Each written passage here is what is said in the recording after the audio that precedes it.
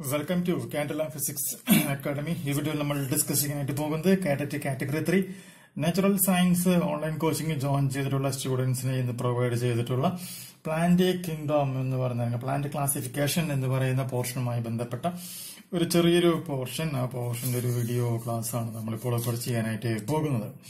അതായത് നമുക്കറിയാവുന്ന ഒരു കണ്ടീഷൻ ഇതാണ്.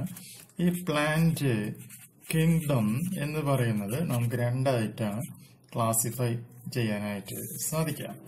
അതായത് ഒന്നാമതായിട്ട് വരുന്ന ആളുടെ പേര് ഞാൻ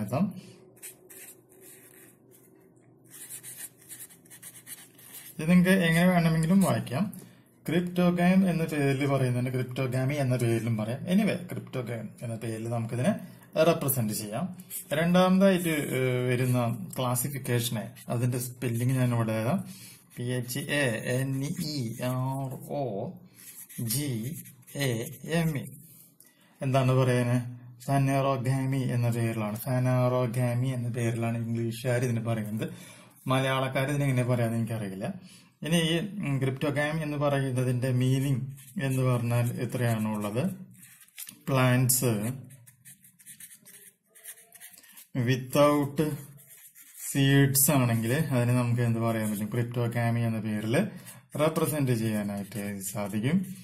പ്ലാന്റ്സ് വിത്ത് സീഡ്സ് വരികയാണ് എന്നുണ്ടെങ്കിൽ അതെന്താണ്?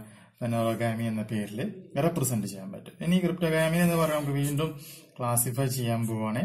ക്ലാസിഫൈ ചെയ്യുമ്പോൾ കിട്ടുന്ന ആളുടെ പേരാണ് താലോഫൈറ്റ താലോഫൈറ്റ എന്ന പേരിൽ പറയാം. അടുത്ത ക്ലാസിഫിക്കേഷനിൽ പറയുന്ന പേരാണ് ബ്രയോ ഫൈറ്റ എന്ന പേരിൽ പറയാം. അടുത്തത് പി ഉണ്ട്. P T E R I D O P H Y T ഫൈറ്റ എന്ന പേരിൽ റെപ്രസെന്റ് ചെയ്യാം. ഈ അലോഫൈറ്റ എന്ന് പറയുന്നത് വീണ്ടും നമ്മൾ ക്ലാസിഫൈ ചെയ്യുകയാണ് എന്നുണ്ടെങ്കിൽ അതിന് ആൽഗെ എന്ന് പറയുന്ന ഒരു പോർഷൻ വരും. പിന്നെ അടുത്തത് വരുന്നതാണ് എന്ത്? ഫാങ്കായ് ഈ ബ്രയോഫൈറ്റ എന്ന് പറയുന്നത് നമുക്ക് വീണ്ടും ക്ലാസിഫൈ ചെയ്യാം. വീണ്ടും ക്ലാസിഫൈ ചെയ്യുമ്പോൾ ഹെപ്പാറ്റി ഹെപ്പാക്റ്റിയ എന്ന പേരിൽ പറയാം. അല്ലെങ്കിൽ ആൻതിറോ സെറോറ്റ ആൻതിറോ സെറോറ്റ എന്ന പേരിൽ റെപ്രസെന്റ് ചെയ്യാം. അല്ലെങ്കിൽ മൂന്നാമതായിട്ട് വരുന്ന ക്ലാസ്സാണ് മ്യൂസി എന്ന പേരിൽ റെപ്രസെന്റ് ചെയ്യാനായിട്ട് സാധിക്കും.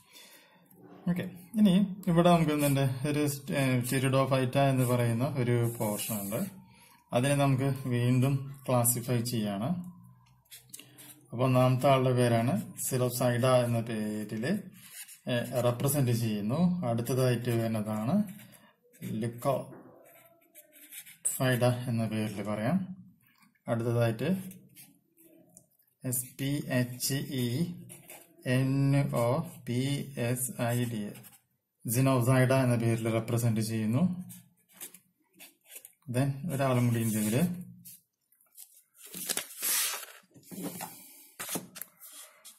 ഇങ്ങനെ പറയുന്ന പേരാണ്. P T R O P S I D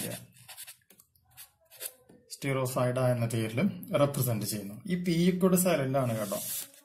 ഇനി ഈ ഫെനോറാഗാമ എന്ന് പറയുന്നത് നമുക്ക് വീണ്ടും ഇതിനെ നമുക്ക് ക്ലാസിഫൈ ചെയ്യാം. അപ്പൊ വരുന്ന ആളുടെ പേരാണ് ജിംനോ സ്പേമി എന്ന പേരിൽ റെപ്രസെന്റ് ചെയ്യാം. ജിംനോസ്പേമി എന്ന പേരിൽ റെപ്രസെന്റ് ചെയ്യാം. അടുത്ത ആളുടെ പേര് A N G I O S P E R M A E.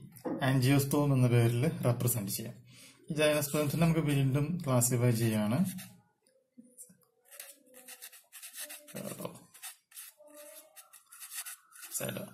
സിഗാഡസൈഡ എന്ന പേരിൽ റെപ്രസെന്റ് ചെയ്യുന്നു. അടുത്ത ആളുടെ പേര് C O N I F E R O P S I D A കോൺഫിറോഡോഫൈഡ എന്ന പേരിൽ റെപ്രസെന്റ് ചെയ്യുന്നു. ഇനി ഒരാളും കൂടിയുണ്ട്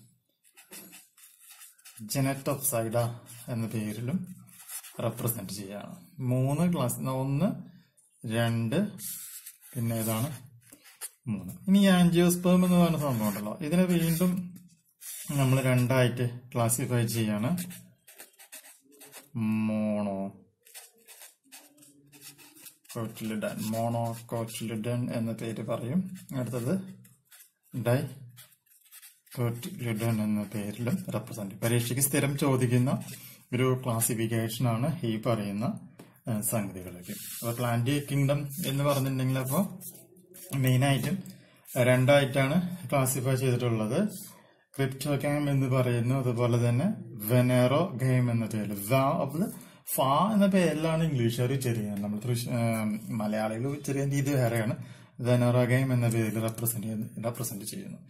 ഈ ക്രിപ്റ്റോ ഗെയിം എന്ന് പറയുകയാണെങ്കിൽ പ്ലാന്റ്സ് വിത്തൗട്ട് സീഡ്സ് അതായത് എന്താ പറയാ വിത്തുകൾ ഉണ്ടാവാത്ത സംഭവങ്ങളെയാണ് plants without seeds plant with seeds എന്ന് പറയുമ്പോൾ അതിന്തുണ്ടാവും ഈ സീഡ് അല്ലെങ്കിൽ ആ കുരുന്നൊക്കെയും പറയില്ലേ നമ്മൾ? അതായത് അടുത്തൊരു ജനറേഷൻ പോസിബിൾ ആകുന്ന സംഭവം.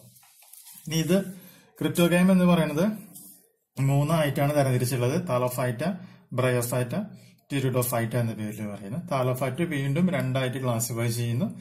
ആൽഗെ ഫംഗൈ ബ്രയോഫൈറ്റ എന്ന് പറയുന്നത് ക്ലാസിഫൈ ചെയ്തേക്കാണ് ഹെപ്റ്റേക്കൈ ആൻഡ് ആൻതെറോസിറ്ററോട്ട് മ്യൂസി എന്ന പേരിൽ റെപ്രസെന്റ് ചെയ്യുന്നു.